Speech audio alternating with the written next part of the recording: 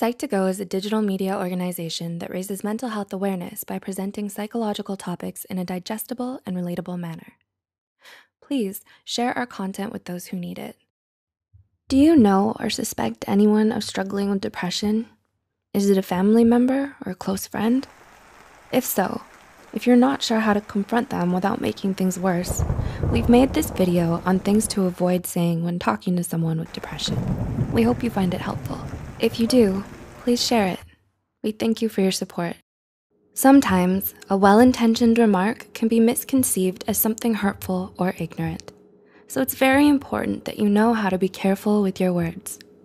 Here are five things you should never say to someone who's depressed. One, you're not trying hard enough. Now, some of you might feel that this one is pretty obvious, but a lot of people are actually guilty of saying this to someone with depression. Telling them things like you need to work harder at getting better, or it's because you're not doing this or that enough, discourages them and makes them feel as if you don't understand how hard it actually is to be depressed. You may believe that happiness is a choice, but depression most definitely is not. Sometimes it's because of things that are out of a person's control, like their genetics, traumatic experiences, or a chemical imbalance in their brains. So be sure not to make them feel as if you blame them for any of it. Two, it's all in your head. This is another common mistake a lot of people make when they try to comfort someone with depression. Though we might not see it, mental illness is just as real and serious as any physical illness sometimes even more so, because of all the stigma surrounding it. In fact, a book titled Depression, The Misunderstood Illness, written by Dr. Leslie Lim in 2008, shows that depression is the most misunderstood mental illness of them all.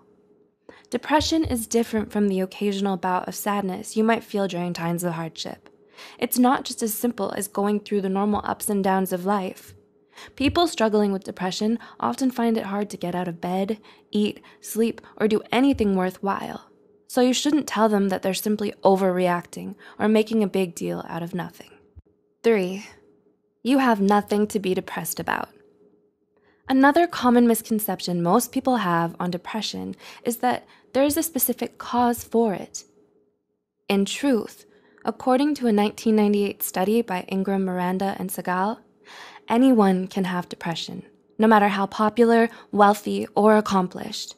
When you tell someone with depression that they shouldn't be depressed because they have no reason to be, you may come off as insensitive and unsympathetic.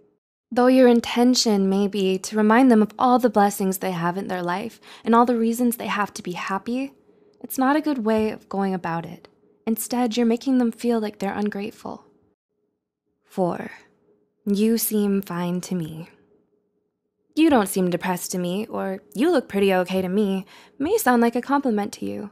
But to someone who's depressed, it may seem as if you're invalidating their feelings and struggles.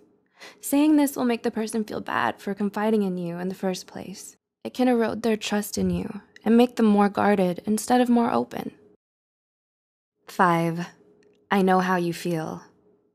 When you say this, you're most likely trying to convey sympathy and understanding. However, to people who are depressed, it may feel disingenuous or offensive. Unless you've ever been diagnosed with clinical depression by a licensed professional, you don't actually know how the other person feels or what they're going through. Don't offer them advice that trivializes their struggles. Depression can't be cured with just a bit of exercise or sleep, a cup of chamomile tea, or some new friends and hobbies. It takes a lot of dedication, hard work, resilience, and inner strength. Let us know in the comments below if you have someone in your life who's depressed and you want to be there for them. Offer them a hug or a shoulder to cry on. Help them see that there is hope and that things can get better. Let them know you care about them and that they're not alone in this. You might not completely understand or know what to say, but it means a lot to them to know that you care if you know someone who may benefit from online counseling, we actually partnered up with BetterHelp, an affordable online counseling platform that you could utilize.